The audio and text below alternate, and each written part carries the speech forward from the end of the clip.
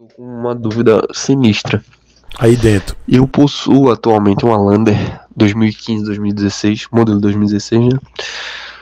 Com 83 mil km rodado. Eu sei que pra Lander a quilometragem não, não influencia. É. Mas assim, eu tô com uma dúvida severa. Eu tenho planos de vender essa moto no final desse ano, é, meio do ano que vem, pra investir em algum projeto, uma moto de alta cilindrada Moto custo-benefício, investimento. uma 4 cilindros custo-benefício que é XJ, ou um, um- uma picapezinha, uma Saveira, enfim. XJ? São planos pro futuro.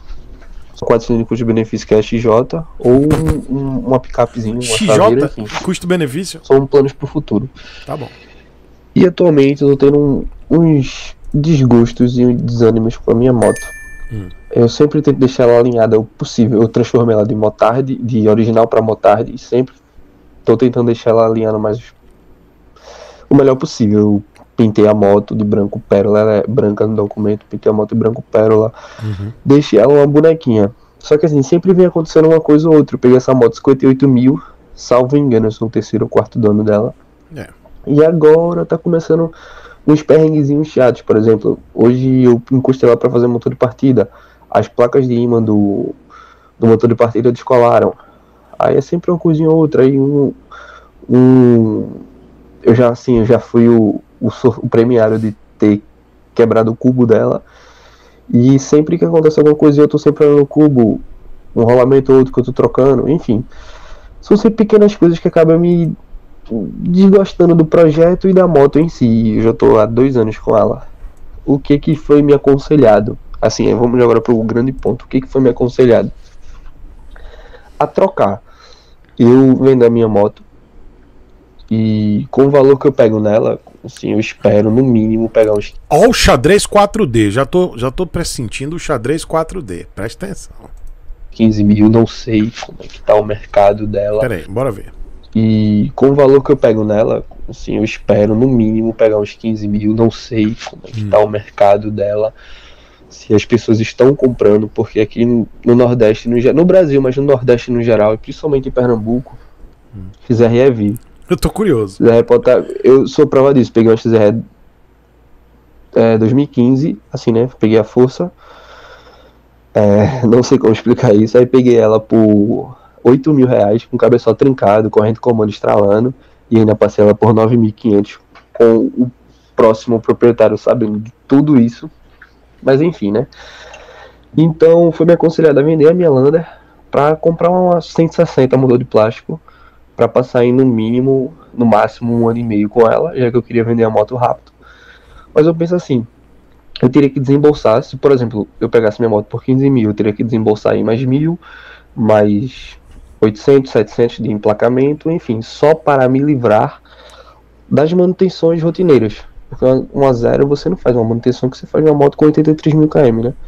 Eu tenho uma, Imagina aquele meme da Nazaré Tedesco fazendo aquelas contas astronômicas, né? É mais ou menos isso como eu tô. um amortecedor agora para recondicionar também. Tô fazendo motor de partida, então são tudo isso. Eu queria realmente ter um, um conselho. O que, que eu faço? Continuo com minha moto, bom, a melhor moto que eu já tive, ou vendo ela e passo aí um ano, no máximo um ano e meio com a motor de plástico para poder ter uma moeda de troca mais rápida. Nada de troca. Você vai ter dor de cabeça. E esse brinquinho aí é muito style, esses três brinquinhos. Porra, um dia eu vou fazer igual. Valeu, fi. Um beijo. Ó, faz igual, não tem, não tem problema não. Um dia eu tava comprando a cadeirinha da minha filha. Lá, eu comprei esse final de semana a cadeirinha do carro da minha filha, né? E aí os brother lá da. do. Alô Bebê, lá do Salvador Shopping, um beijo aí pros brother aí. É, que, que lá na parte de, de pegar os negócios dos negócios, os meninos lá, um beijo lá. Acho que é Luca. Beijo, Luca. Aí o brother dele também falou: pô, e aí, tiozão, tal, pô, você é bem metal dos anos 90 tal. É isso aí, velho. Dos anos, início dos anos 2000, pá. Isso é isso mesmo. Valeu. Pode copiar, viu, filho? Não tem essa não. Seguinte, seu xadrez 4D é do baralho. A Holanda é bem rodada, hein? 2015, 2016. É bem rodada mesmo. Vamos lá. É o seguinte, seu xadrez 4D é típico da galera que não faz conta, né? Você fugiu da escola, fez, fez igual a mim. Foi lá pro Jardim Zoológico, fugiu da escola, não sabe fazer conta, né? Presta atenção. E eu não falo. Eu, cara, você tá me perguntando é pra ouvir a verdade, velho. Eu não vou ficar aqui amaciando. Dizendo, pô, amiguinho, amiguinho, amiguinho, você é muito legal, amiguinho. Pô, fugiu da escola, velho. Pega um papel, um guardanapo, qualquer papel de, papel de banheiro mesmo, aquele papel de limpar a bunda, e escreve. Vamos lá. Lander, quanto é que custa para você consertar a Lander? Que já é sua, você já paga, paga o imposto reduzido, já é sua, fi. Tá? Tá lhe atendendo, já tá com 80 mil, já tá dando os probleminhas, porque é uma moto que é muito rodada. As peças estão começando a colapsar. Né? Não digo nem que é moto velha, não é moto velha, é uma moto rodada. Então ela está começando a colapsar. Você já é o quarto dono. O que, que acontece quando pega-se uma moto assim tão rodada e com tantos donos? Você não sabe se foi feita a manutenção devida. É isso que acontece. Você não sabe qual é o histórico dessa moto. O que, que o cara botou, que, se ele trocou, botou peça boa. Não, e é isso que acontece. Então você perde a referência da moto. Então agora você está com uma moto que está colapsando, mas ela está lhe atendendo. Então a falta de, de você botar isso no papel ou algo visível, seja no celular, no bloquinho de notas e fazer conta.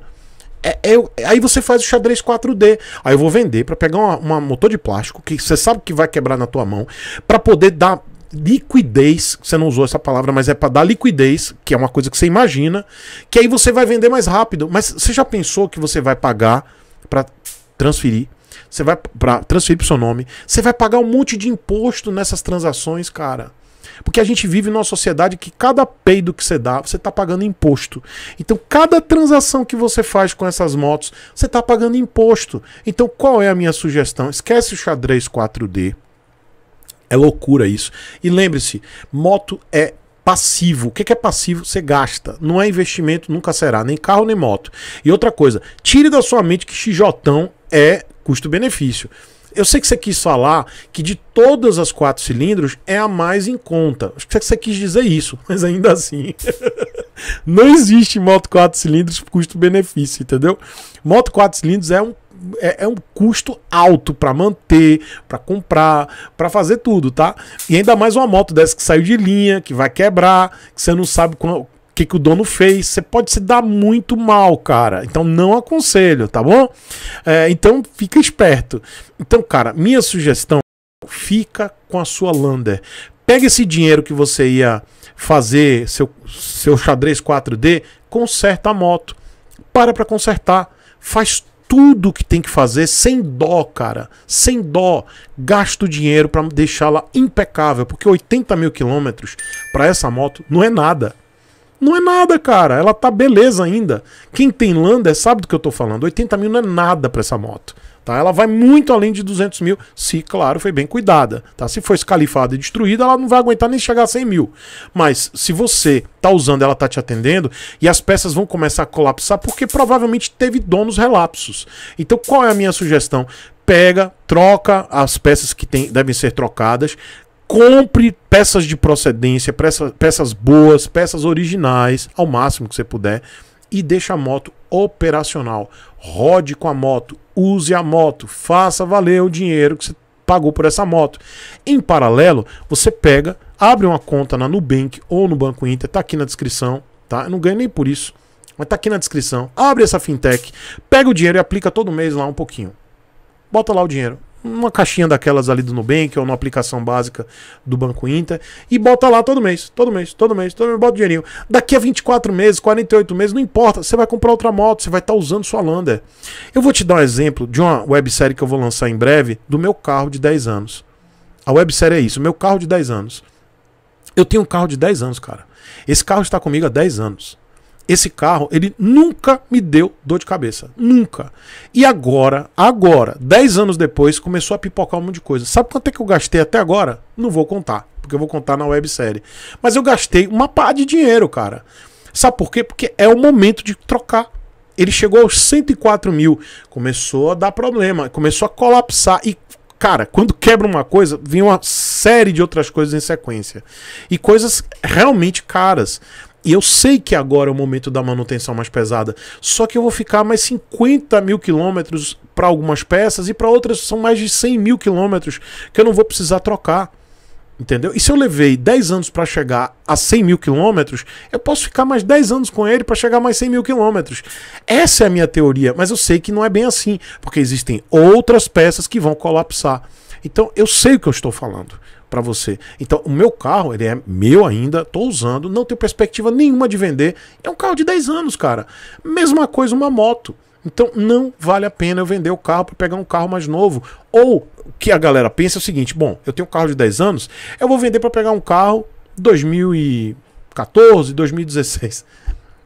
Por quê? Se eu tô com meu carro a 10, me atende. Eu sei cada parafuso trocado neste carro. Eu sei tudo que foi feito nesse carro. Foi feito por mim. O carro foi meu sempre. Por que, que eu vou pegar um carro de 2016 ou 2019 que eu não sei o que, que o cara fez? Mesmo que esteja com menor quilometragem, eu posso me dar mal.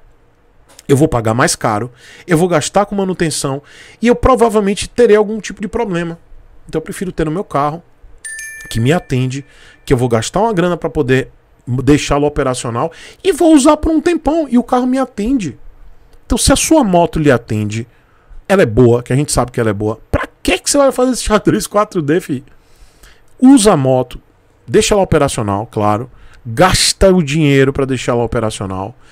E em paralelo, usando a moto, vai guardando dinheiro para você fazer um planejamento de comprar a moto que você quer. Mesmo que seja essa bomba aí da XJ, tá?